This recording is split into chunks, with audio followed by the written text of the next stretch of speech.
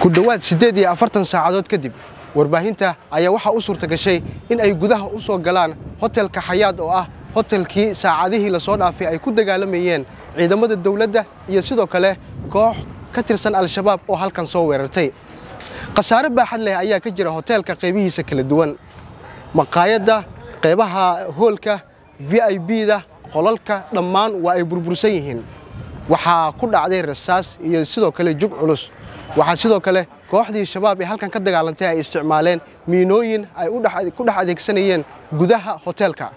Waxaan loo tilmaamay in markii hore ilinkan ay ka soo galeen. Kadibna ay halkan ka soo gudbeen una dhaadhaceen qaybaha kale ee hoteelka iyaga oo toogasho wadareed ka sameeyey hoteelkan. Dadkii meedadka ahaa ee ay toogteen oo halkan yiilay muddo saacado ah ayaa iyagu laga daabulay islamarkaana la geeyey qaybaha meedadka la geeyo ee isbitaallada muqdisho. Xaalka hoteelka haatan waa sidaa idiin muuqata oo burbur xoog leh ayaa ka muuqanaya.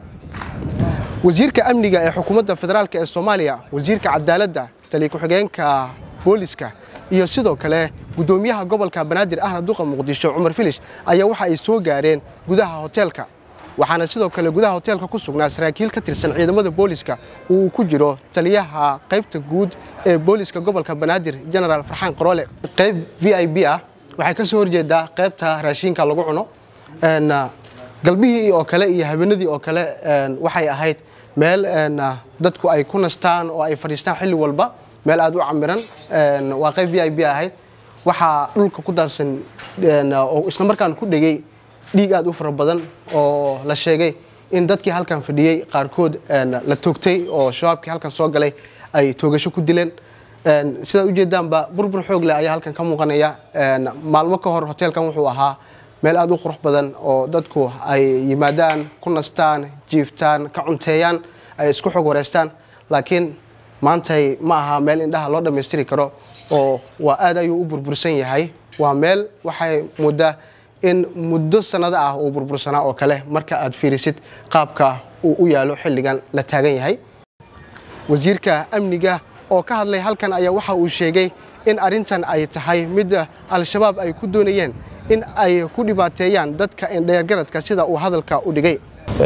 Halkan aan ku sugannahay waa hotel xayaad tobankii bisha oo maalin jimca ah toddobadii fiidnimo salaaddii maqrib kadib waxaa weerar bahalnimaa ku soo qaaday maleeshiyada al-shabaab. Ayagoo ugu talagalay inay ku argagixiyaan oo ku dhibaateeyaan bulshada soomaaliyeed. Saaad og tihiin hotel xayaad waa goob ganacsi waa goob shacab. Ma aha xero military ma aha bays ciidan ma aha meel howlgala ciidan ay ka socdaan. Waa xarun ganacsi oo shacab soomaaliyeed oo dhididkooda iyo muruqooda maalay ay leeyihiin dadka joogay waxay ahayn dad jimcadii soo tukaday. Salaaddii maqrib ka soo baxay. Halkan howlo kala duwan u yimid. Qaarkood waa deganayeen socotay ahayeen qaarkood waxay ahayn ganacsato. Qaarkood waxay ahayn muruqmaal.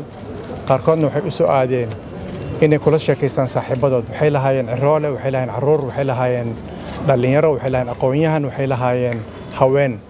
Waxay ahaayeen indhihii ummadda soomaaliyeed. Ujeeddada qolyaha weerarka soo qaaday waxay ahayd inay indhaha ka ridaan bulshada soomaaliyeed gudoomiyaha gobolka banaadir ahna duqa magaalada muqdisho cumar filish ayaa waxa uu sheegay in loo baahan yahay in dadku iyagu ay ka gaashaantaan islamarkaana ay ka tashadaan aayahooda si looga badbaado weerarada xilliyada qaar loo geysto. Waa waxaan la aqbalin karin maalin ilaahay keeno inay murjiyaan marxuumiyaan dad biramageyda ah isla markaas ay ku tilmaamaan dadkaasi inay yihiin dad in la dilo mudnaa. Runtii ma ahayn dadkan iyo dadka la midka ahee mar walba ay xasuuqaanba. Dad mudan in la dilo. Waa dad mudan in la daryeelo. Waa dad mudan inay amni helaan.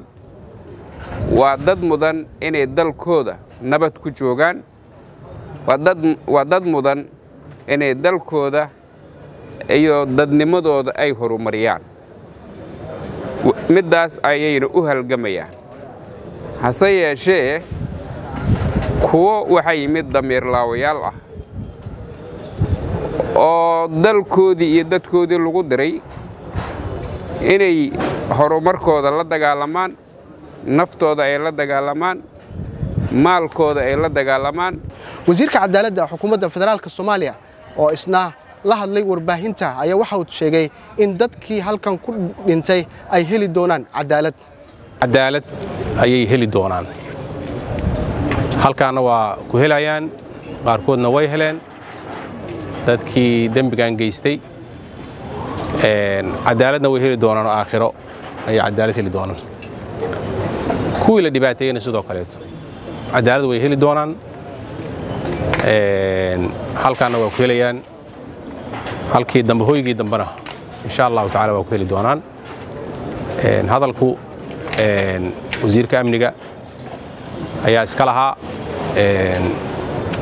Xukuumaddu waxay u taagan tahay inay har iyo habeen dhagarqabayaashaas laga hor tago oo kaydkooda iyo dhagartooda lagu celiyo. Si kastaba waxaa gebi ahaanba suurta gashay in la qarxiyo miinooyinkii ku jiray gudaha hoteelka oo saacadihii la soo dhaafay ciidamada dawladda ay la tacaalayeen in ay qarxiyaan. Waxaana ugu dambayn saxaafadda loo oggolaaday in ay gudaha u soo galaan hoteelka islamarkaana ay tabiyaan wararka ku saabsan xaaladda hoteelka uu ku sugan yahay. Milkiilaha hoteelka ayaa horey loo sheegay in uu ku geeriyooday weerarkii shabaab ay ku soo qaadeen hoteelka. Zakariya axmed muuse tv-ga shabeelle muqdisho shirkadda hormuud telecom waxay macaamiisheeda u samaysay qiimiyo dhimis ballaaran xirmooyinka internetka iyo kaarka ku hadalka ee adeegga anfac balaas xirmada cusub ee labaatan iyo shanta sinti waxaa laga dhigay afar boqol oo m b iyo toban daqiiqo oo ku hadalka gudaha ah halka xirmada bointy five kana laga dhigay siddeed boqol iyo konton m b iyo soddon daqiiqo oo ku hadalka gudaha ah xirmada halka doolar waxaa laga dhigay laba g b oo internet data ah boqol daqiiqo oo ku hadalka gudaha ah iyo konton fariin qoraaleed. Laba doolar waxaad ku heli kartaa shan g b oo data ah laba boqol oo daqiiqo oo ku hadalka gudaha ah iyo boqol fariin qoraaleed. Shan doolar waxaad ku heli kartaa laba iyo toban g b shan boqol oo daqiiqo oo ku hadalka gudaha ah iyo boqol iyo konton fariin qoraaleed. Toban doolar waxaad ku heli kartaa labaatan iyo sideed g b oo internet data ah kun daqiiqo oo ku hadalka gudaha ah laba daqiiqo oo dibadda ah iyo saddex boqol oo fariin qoraaleed ah ugu shubo e v c balaaskaaga xidig toddoba labaatan iyo afar xidig nambarka xidig lacagta afar gees ama kaarka ku hadalka xidig boqol labaatan iyo lix afar gees kadibna raac tilmaamaha